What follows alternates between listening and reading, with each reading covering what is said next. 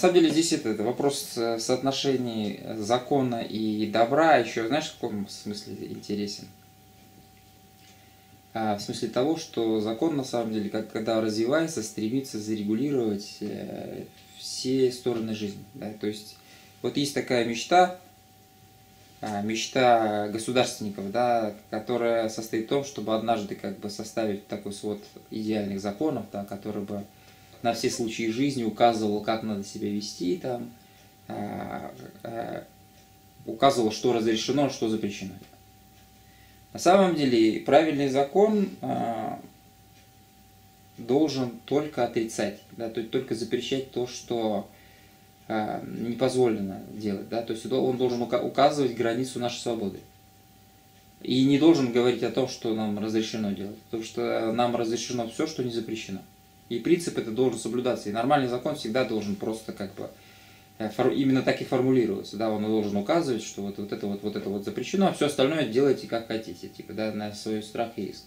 И, собственно, как бы в процессе практики, когда э, возникают какие-то новые проблемы, да, закон должен туда вторгаться, как бы и там указывать на то, что запрещено. И каждый раз закон именно с этой стороны должен э, направлять свои усилия. Потому что смысл закона состоит в том, чтобы указывать, э, что такое как бы зло, да. То есть разграничивать, вообще говоря, изначальный смысл закона состоит в том, чтобы дать возможность нам существовать совместно, да, чтобы дать возможность нам быть совместно свободными. То есть ограничить свободу каждого так, чтобы у каждого осталась какая-то свобода внутри вот, своей внутренней сферы, да, чтобы он мог этой свободой воспользоваться. Чтобы вот, э, не дать возможность существованию произвола да, отдельных людей, которые узурпируют там власть или узурпируют э, как бы права, да, и будут, допустим, ограничивать права других людей. В этом смысл закона. Но в своем применении, вот я говорю, закон почему-то стремится вот так детализироваться, даже если взять закон идет э, нравственный, да, допустим, закон, как, закон, как его поняли иудеи, да, у них там сколько там, 613, по-моему, заповедей, да, в итоге они вычитали в Библии. Вот, то есть закон стремится вот в такой детализации, да, стремится как бы все стороны жизни зарегулировать. Но это, ну реально, как бы, да, это вот ошибка. Ну, не ошибка самого закона, потому что, как мы понимаем, что такое закон? Закон это просто а, Э, следствие наш, работы нашего мышления. Вот наше мышление работает, оно пытается некие общие принципы как бы высказать, да, и высказывать общие принципы, оно вот формулирует с, и, свои выводы в виде там, какого-то законодательства, каких-то предписаний, правил, там, заповедей, принципов и прочее. Причем это не только касается нравственности, это касается всего, в том числе, там, допустим, уставов там, там армейских, там, уставов каких-нибудь там, там службы какой-нибудь, там, типа охраны, как ты говоришь, там в принципе, инструкции по применению какого-нибудь там аппарата, там инструкции по применению, там, допустим, там, не знаю, там микроволновой печи там, и так далее. Ну. Что, в принципе, она стремится вот зарегулировать все. А, но суть вопроса должна состоять в том, что все, что как бы не запрещено, все разрешено. Понятное дело, что если это касается микроволновой печи, то там, там же не напишешь, что ее нельзя, там, не знаю, там, сбрасывать с десятиэтажного дома, там. То есть а с 8... Да, с 11 этажного можно, и так далее, да. То есть просто надо указать на то, что не, не кидать, и все. Понимаешь, отсюда будут ясность, что не кидать там во всех, во всех случаях жизни. Так вот, а с другой стороны, когда мы говорим о добре, вот у нас э, чем добро замечательно, как, когда мы говорим о, о конкретности добра, что вот такого зарегулирования нет. То есть вот такого развития, да, когда э, вместо того, чтобы что-то, когда возникает, э, как это называется там, если все стремятся нести пользу друг другу, то необходимость закона отпадает. Конечно, не, необходимость закона не отпадает никогда, потому что закон это то самое общее, что мы совместно можем с друг другом договориться. Дело в том, что, видишь, я сколько раз уже говорю, что э, в, в регионе законов мы не можем а, в регионе законов мы, э, это, это тот самый регион общности, тот самый регион, в котором мы можем достигнуть некого общего согласия. Почему как бы и государство может базироваться только на законах? Потому что оно может его прописать как бы в виде кодекса, да, свода законов, и тем самым указав некий, некий консенсус да, того, как общество должно быть устроено и как оно должно э, жить. да, как оно должно существовать. А на уровне добра такого консенсуса не прописать. Я же говорю, каждый человек в каждом отдельном, э, в каждой отдельной ситуации будет вести себя специфическим, ему конкретным а, присущим образом, потому что у него конкретные способности, у него конкретная, конкретная там, не знаю, скорость э, э, реагирования на ситуацию, там, у него там конкретные там, это, мотивы и так далее, понимаешь? То есть в добре не может быть каких-то общих принципов. В абстрактном добре может быть, да, мы говорили об этом. Но абстрактный как раз закон-то и стремится оградить э, людей от зла, как бы, и примерно указать на то, в чем состоит аб абстрактное добро. Но мы-то говорим о конкретности добра. А ведь абстрактное добро, оно... Э, в, чем, в чем как бы недостаток абстрактного добра? Что в своем применении оно часто оказывается недобром. Просто мы, когда говорим о конкретности добра, мы имеем в виду, что когда я реализую свою волю, я стремлюсь довести эту волю до конкретности добра, чтобы добро было не моим добром, да, как в абстрактности добра. Ведь абстрактность добра, она указывает на то, что всем людям присущи какие-то общие свойства. И если это э, добро для меня, то есть если это польза для меня, то это значит польза для всех. Если, условно говоря, заниматься йогой польза для меня, значит заниматься йогой польза для всех. Но это на самом деле не так. Понимаешь, конкретность добра указывает, что даже если что-то польза для меня, это не значит, что это польза для, для другого. И поэтому вот абстрактное добро, оно стремится и совершить вот эту вот некую усреднение всех людей, да, как бы всех людей это рассматривается с некой общей позиции. И тогда она видит весь мир тоже точно так же абстрактно. Тогда нет вот этих конкретных уни, это уникальных личностей, а просто есть некого рода индивиды, всеобщие индивиды, как у Гегеля. Вот у Гегеля, на самом деле, все индивиды, они ведь теряются в этой всеобщей субстанции. Они перестают быть теми самыми вот э, яркими индивидуальностями. Да, собственно, существует, получается, только вот некое всеобщее сознание, всеобщая воля. Все. А все индивидуальности просто они вот э, растворяются вот в этой все. Их воля в лучшем случае э, соглашается осуществлять всеобщую волю, а в худшем случае они просто как бы ничего не может противопоставить этой всеобщей воле. Да? Даже если они там сопротивляются, не, это сопротивление бесполезно. Потому что оно не субстанциально. Не субстанциально. А вот а речь-то как раз я говорю о том, что конкретности добра мы как раз и осуществляем свою уникальность, потому что э, мы пытаемся довести нашу волю до добра, как оно есть для другого. Не как оно есть для меня только. И не всеобщее какое-то добро, которое как бы никак не кажется, э, относится ко всем, а до некого конкретного добра. И поэтому, э, когда законы, еще раз говорю, пытаются вот так вот размножаться, когда вот возникает эффект такого взбесившегося права, на самом деле, это вот есть то самое непонимание, что добро не достигается путем как бы вот э, формулировки неких э, законодательных актов, там, некого рода законодательства.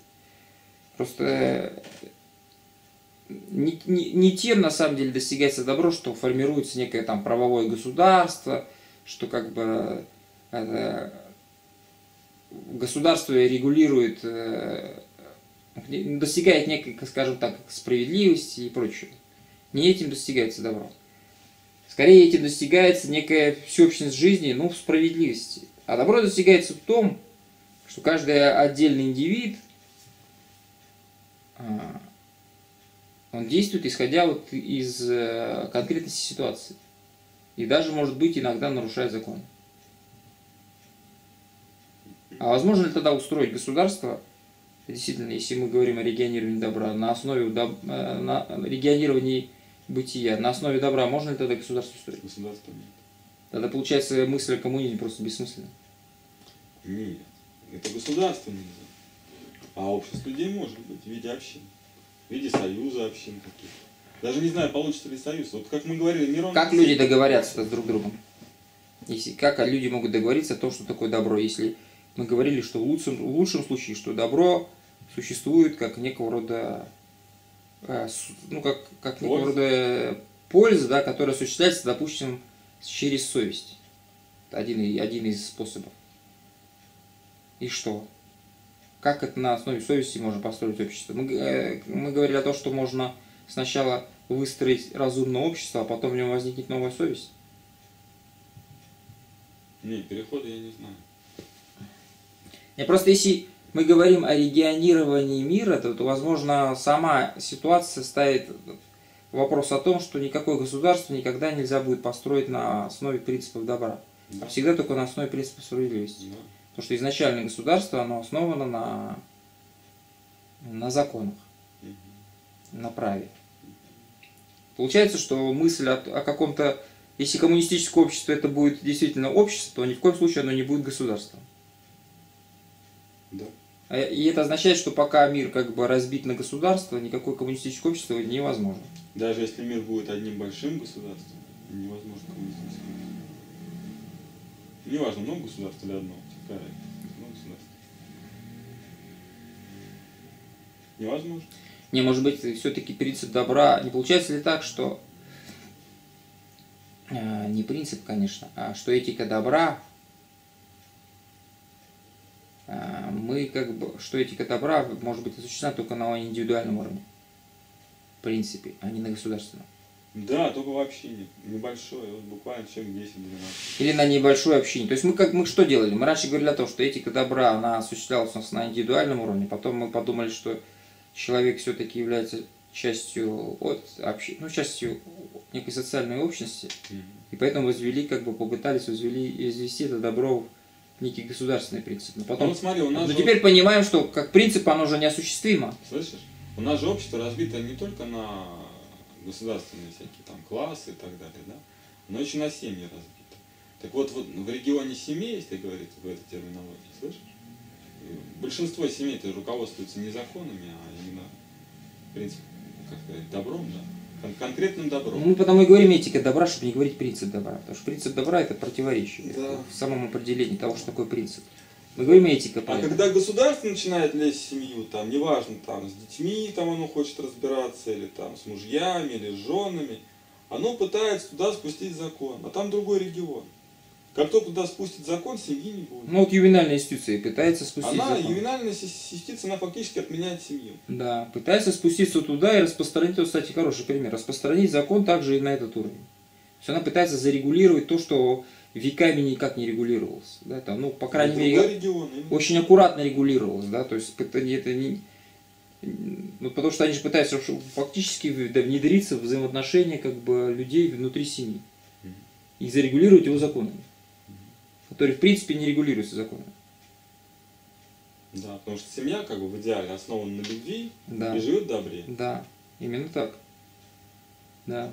И единственное, что предложил Христос, он предложил семью не по сексуальной любви, там, слышишь, эротической между мужчиной и женщиной, а он предложил жить вот семьями людям, как бы большими Но он имел в виду, да, что он хотел об- общины христианские, это и есть просто Почему большая они братья семья. и сестры, да. Да, это большая семья. Божьи, Просто да. принцип семьи распространить не только на э, семьи, в смысле родственности, да, но на как бы... Он представлял, что общество будет Новый- состоять из таких семей, Да, да. а эти семьи между собой каким-то образом там должны тоже без государства объединиться как-то. И просто как А, раз... а возможно, что у них, вот как вот нам пока видится, только в виде нейронной сети. Проблема, наверное, да, проблема, наверное, христианства состоит в том, что хотя эта семья, которая должна была бы охватить вот такие малые общности, проблема состоит в том, что возведенная в некий общий принцип, да, на уровне государства, она теряет свою истину. То есть христианство, на самом деле, на государственном уровне невозможно. То есть оно, на самом деле, возможно только вот на этом каком-то нижнем уровне, на маленьких общинах, людей, которые друг друга знают. То есть христианство, в принципе, основано на том, что это взаимоотношения а, а, Ну, грубо говоря, людей в общине, 10-12 которые друг... человек. Да, как- ну сколько людей может друг друга знать? Да, хорошо. Ну, тысячи. Ну, тысячи нет. Хорошо друг друга знать могут, ну, допустим, там, ну, Человек 10-12. да, Если очень хорошо, тесно да, общаться. да. То есть тот самый, как, как бы семейный уровень, когда люди могут друг друга хорошо знать. Только они- принцип, принцип объединения в эту семью был предложен другу. Да, не, не, не на- не на уровне род- родственности, да, а на уровне как бы вот духовной близости. Да, да, да. Именно так. В этом состоит суть христианства. Да. И получается, что мы вот такой интересный ход проделали. Мы сначала попытались этику добра поднять на уровень как бы общности, да, там как бы возникли какие-то проблемы, а теперь обратно спустили на уровень вниз, как бы и выяснили, что в итоге только маленькие вот общины, да, людей, которые друг друга знают, могут жить в этике добра. И ничего другого невозможно. Получается, а что на уровне государства остается только уровень за- законов, которые э, на самом деле точно так же нужны, потому что ничего там другого придумать невозможно, потому что в принципе государство предназначено для того, чтобы люди могли совместно жить, да, так, в некого рода общей жизни, да. И в этой общей жизни, конечно же, должны быть некие общие принципы, да, этого общежития, да, совместного. Эти общие принципы, как бы, есть закон. И это другой регион, да. А регион добра – это другой регион. Законы не, не нацелены на добро, законы нацелены на э, предотвращение зла. Да, получается, что любой большой монастырь, в котором сотни или тысячи монахов, да? Которые друг друга это не знают. государство. Да, это государство, потому это оно не не получается. христианство. Потому и не получается. Да, да. Монастырь может быть только маленький. Маленький монастырь, да. И община тоже христианская всегда должна быть маленькая. Маленький какой-нибудь приход людей, которые Да, друг да, друга да. знают, Вот там это которые имеют личное, личное вза- взаимодействие, да. То есть не, не формальное такое, вот, как вот сейчас. Два христианина встречаются, формально, вроде они христиане, но они друг друга не знают. А конкретное, когда люди могут участвовать в жизни друг друга конкретно. Они Да, знают. Если в церкви стоит 50 человек, это не церковь. Да, получается, что так, да. Что на самом деле требуется обязательное вот э, вхождение. Ну что такое как бы брат и сестра? Это ведь люди, которые друг друга очень хорошо знают. И это знают предысторию, значит, знают как бы там это, многие вещи знают, да, как бы там многообразие жизни какое-то есть. Есть какая-то совместная долгая история. Потому что брат и сестра знают себя на протяжении жизни, там они постоянно общаются, постоянно как бы взаимодействуют.